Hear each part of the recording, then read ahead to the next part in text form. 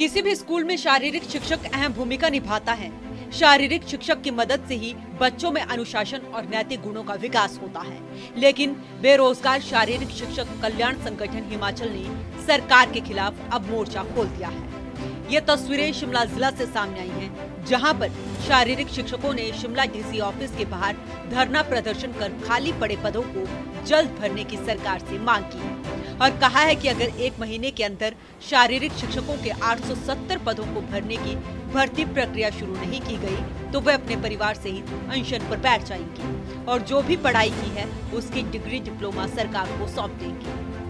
बेरोजगार शारीरिक शिक्षक कल्याण संगठन के अध्यक्ष रमेश राजपूत ने कहा है कि सरकार ने शारीरिक शिक्षकों के पदों को भरने की भर्ती प्रक्रिया शुरू की, लेकिन कोर्ट में जाने की वजह से लटक गई थी। लेकिन अब कोर्ट ने मामले को डिसमिस कर दिया है, इसलिए सरकार भर्ती प्रक्रिया को शुरू करेगी। हम लोग हिमाचल प्रदेश के जितने भी सारे बेरोजगार शारीरिक शिक्षक है वो अपनी मांगों को लेकर क्योंकि 870 पोस्टें हमारी फ़िज़िकल एजुकेशन की निकाली गई थी वो किसी आ, आ, जो हमारे हम एजुकेटेड अनएजुकेटेड कुछ पर्सन थे उनकी वजह से हमारा जो ये भर्ती प्रक्रिया है वो कोर्ट के चक्कर में चलेगी।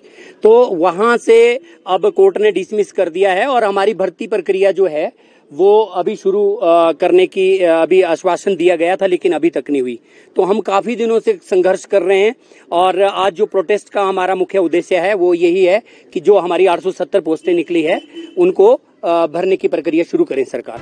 गौरतलब है कि लंबे समय से भर्तियाँ न होने से निराश, बेरोजगार, शारीरिक शिक्षक रोज़गार की राह देख रही है कि कब सरकार भर्ती करे और उन्हें रोज़गार मिले। आपको बता दें कि प्रदेश में इस समय 22 से पच्चीस हज़ार शारीरिक शिक्षक बेरोजगार हैं। लेकिन अब देखना यही होगा कि कब सरकार इनकी मांगों को मानती है और कब शारीरिक शिक्षकों की भर्ती प्रक्रिया शुरू की जाती है सूर्य समाचार के लिए शिमला ऐसी कमल ठाकुर की रिपोर्ट